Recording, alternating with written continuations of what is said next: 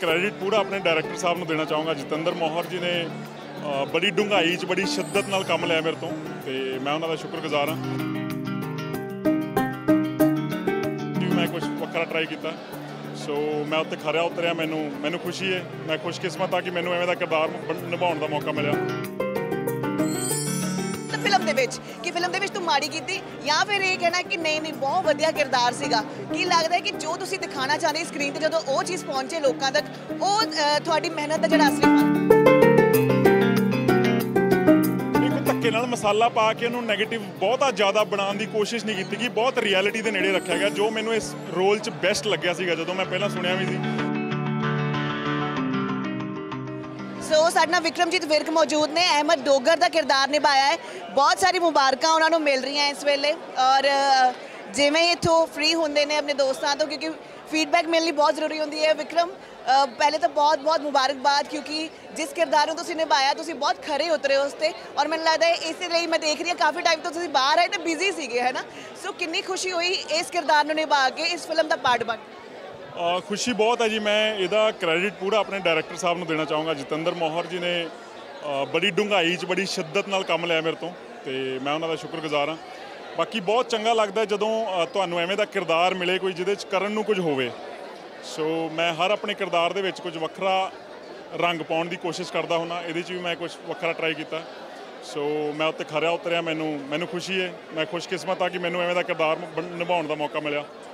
ਕੀ ਲੱਗਦਾ ਹੈ ਕਿ ਇੱਕ ਕਿਰਦਾਰ ਕਰਨਾ ਇੱਕ ਆਰਟਿਸਟ ਲਈ ਕਦੋਂ ਸਫਲ ਹੁੰਦਾ ਹੈ? ਕਿ ਜਦੋਂ ਜਿਹੜੇ ਕਿਰਦਾਰ ਦੇ ਵਿੱਚ ਹੈ, ਲੋਕੀ ਉਹਨੂੰ ਆ ਕੇ ਇਹ ਕਹਿਣ ਕਿ ਯਾਰ ਬਾਈ ਤੂੰ ਆ ਚੰਗਾ ਨਹੀਂ ਕੀਤਾ ਆ ਮਾੜਾ ਕੀਤਾ। ਉਹ ਗੱਲ ਹੈ ਕਿ ਬਈ ਫਿਲਮ, ਮਤਲਬ ਫਿਲਮ ਦੇ ਵਿੱਚ, ਕਿ ਫਿਲਮ ਦੇ ਵਿੱਚ ਤੂੰ ਮਾੜੀ ਕੀਤੀ, ਜਾਂ ਫਿਰ ਇਹ ਕਹਿਣਾ ਕਿ ਨਹੀਂ ਨਹੀਂ, ਬਹੁਤ ਵਧੀਆ ਕਿਰਦਾਰ ਸੀਗਾ। ਕੀ ਲੱਗਦਾ ਕਿ ਜੋ ਤੁਸੀਂ ਦਿਖਾਣਾ ਚਾਹੁੰਦੇ ਸਕਰੀਨ ਤੇ, ਜਦੋਂ ਉਹ ਚੀਜ਼ ਪਹੁੰਚੇ ਲੋਕਾਂ ਤੱਕ, ਉਹ ਤੁਹਾਡੀ ਮਿਹਨਤ ਦਾ ਜਿਹੜਾ ਅਸਲੀ ਫਲ ਮੈਨੂੰ ਲੱਗਦਾ ਕਿ ਜਦੋਂ ਆਪਾਂ ਸਪੈਸ਼ਲੀ ਜਦੋਂ ਪ੍ਰੀਮੀਅਰ ਜਾਂ ਸਕਰੀਨਿੰਗ ਹੁੰਦੀ ਹੈ, ਤਾਂ ਸਾਰੇ ਫਰੈਂਡਸ ਜਾਂ ਜਾਣਨ ਵਾਲੇ ਆਏ ਹੁੰਦੇ ਨੇ।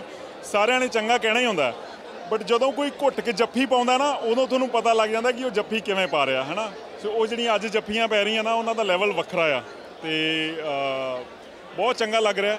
ਤੇ ਸਪੈਸ਼ਲੀ ਸਾਡੀ ਫਿਲਮ ਲਈ ਮੈਂ ਕਹਿਣਾ ਚਾਹੂੰਗਾ ਕਿ ਫਿਲਮ ਬਹੁਤ ਸੋਹਣੀ ਬਣੀ ਹੈ। ਮਤਲਬ ਬਹੁਤ ਕਾਬਿਲ ਤਾਰੀਫ ਹੈ। ਮੈਨੂੰ ਜਿੰਨੀ ਉਮੀਦ ਸੀ ਉਹ- ਉਮੀਦ ਸੀ, ਉਸ ਤੋਂ ਵਧੀਆ ਬਣੀ ਹੈ।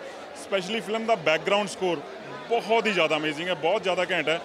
ਤੇ ਹਰ ਇੱਕ ਕੈਰੈਕਟਰ ਨੇ ਆਪਣਾ ਰੋਲ ਬਹੁਤ ਵਧੀਆ ਨਿਭਾਇਆ। ਜੇ ਆਪਾਂ ਕਿਸੇ ਦਾ ਵੀ ਕਹੀਏ ਕਿ ਕਿਸੇ ਨੇ ਚੰਗਾ ਨਹੀਂ ਕੀਤਾ ਮੈਂ ਕਹੂੰਗਾ ਹਰ ਇੱਕ ਨੇ ਬਹੁਤ ਸੋਹਣਾ ਕੀਤਾ ਕੰਮ ਤੇ ਬਹੁਤ ਬਹੁਤ ਸਵਾਦ ਆਇਆ। ਨੇ ਹੁਣ ਤੱਕ ਜਿੰਨੇ ਤੁਹਾਨੂੰ ਅਹ, ਲੋਕ ਮਿਲੇ ਤੁਹਾਡੇ ਦੋਸਤ ਮਿਲੇ ਹੈ ਕਿਸੇ ਨੇ ਕਿਹਾ ਕਿ ਯਾਰ ਤੂੰ 네ਗੇਟਿਵ ਕਿਰਦਾਰ ਨਿਭਾਇਆ ਤੈਨੂੰ ਐਵੇਂ ਨਹੀਂ ਕਰਨਾ ਚਾਹੀਦਾ ਸੀਗਾ ਕਿ ਤੂੰ ਕਿਉਂ ਬੰਦਾ ਜਿਹੜਾ ਹੈ ਉਹਦਾ ਫਸ- ਅਹ, ਅਹ, ਕਿਸੇ ਨੂੰ ਫਸਨਾ ਫਸਾਤਾ ਸੀਗਾ ਜਾਂ ਇਦਾਂ ਦੀ ਕੋਈ ਗੱਲ ਕਹੀ? ਸਪੈਸ਼ਲੀ ਮੈਨੂੰ ਲੱਗਦਾ ਹੈ ਇਸ ਕਿਰਦਾਰ ਲਈ ਇਹ ਜਿਹੜੀ ਫਿਲਮ ਹੈ ਇਹ ਇੱਕ ਧੱਕੇ ਨਾਲ ਮਸਾਲਾ ਪਾ ਕੇ ਉਹਨੂੰ 네ਗੇਟਿਵ ਬਹੁਤਾ ਜ਼ਿਆਦਾ ਬਣਾਉਣ ਦੀ ਕੋਸ਼ਿਸ਼ ਨਹੀਂ ਕੀਤੀ ਗਈ। ਬਹੁਤ ਰਿਐਲਿਟੀ ਦੇ ਨੇੜੇ ਰੱਖਿਆ ਗਿਆ, ਜੋ ਮੈਨੂੰ ਇਸ ਰੋਲ 'ਚ ਬੈਸਟ ਲੱਗਿਆ ਸੀਗਾ ਜਦੋਂ ਮੈਂ ਪਹਿਲਾਂ ਸੁਣਿਆ ਵੀ ਸੀ।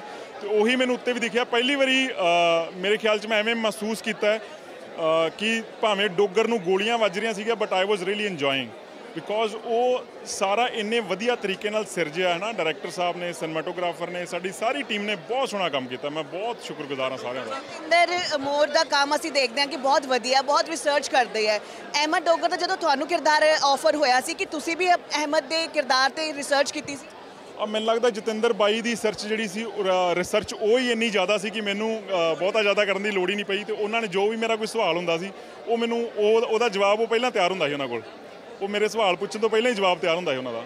ਸੋ ਉਹਨਾਂ ਨੇ ਬਹੁਤ ਬਰੀਕੀ ਨਾਲ ਕੰਮ ਕੀਤਾ ਤੇ ਮੈਨੂੰ ਬਹੁਤ ਖੁਸ਼ੀ ਹੈ ਕਿ ਸਾਡਾ ਪੰਜਾਬੀ ਸਿਨੇਮਾ ਅੱਜ ਇਸ ਪੱਧਰ ਤੇ ਪਹੁੰਚਿਆ, ਇਸ ਲੈਵਲ ਦੀ ਫਿਲਮ ਬਣਾਈ ਹੈ। ਤੇ ਸਾਡੇ ਪ੍ਰੋਡਿਊਸਰ ਸਾਹਿਬ ਕਾਰਜ ਗਿੱਲ, ਜਤਿਨ ਸੇਠੀ ਜੀ ਦਾ ਬਹੁਤ ਬਹੁਤ ਧੰਨਵਾਦ। ਤੇ ਆਈ ਐਮ ਹੋਪਿੰਗ ਕਿ ਸਿਨੇਮਾ ਜਿਹੜਾ ਹੁਣ ਹੋਰ ਲੈਵਲ ਅਪ ਹੋਊਗਾ ਤੇ ਚੰਗੀਆਂ ਚੰਗੀਆਂ ਫਿਲਮਾਂ ਸਾਡੀ ਪੰਜਾਬੀ ਇੰਡਸਟਰੀ 'ਚ ਆਉਣਗੀਆਂ ਹਨਾ thank you hoping the same and wish you good luck ਕਿਉਂਕਿ ਅੱਜ ਫਿਲਮ ਲੱਗੀ ਹੈ ਲੋਕੀ ਪਸੰਦ ਕਰ ਰਹੇ। ਇਹ ਉਹਦੇ ਲਈ ਆਉਣ ਵਾਲੇ 4-5 ਹਫ਼ਤੇ ਜਿਹੜੇ ਬਹੁਤ ਵਧੀਆ ਹੋਣ ਔਰ ਫਿਲਮ ਲੱਗੀ। ਥੈਂਕ ਯੂ ਵੈਰੀ ਮਚ ਧੰਨਵਾਦ ਬਹੁਤ ਐਂਟਰਟੇਨਮੈਂਟ ਨਾਲ ਜੁੜੀ ਹਰ ਇੱਕ ਖਬਰ ਲਈ ਸਾਡਾ Facebook page Bollywood Tadka Punjabi like ਕਰੋ YouTube ਚੈਨਲ ਸਬਸਕ੍ਰਾਈਬ ਕਰੋ ਤੇ Instagram ਪੇਜ ਨੂੰ ਫੋਲੋ ਕਰੋ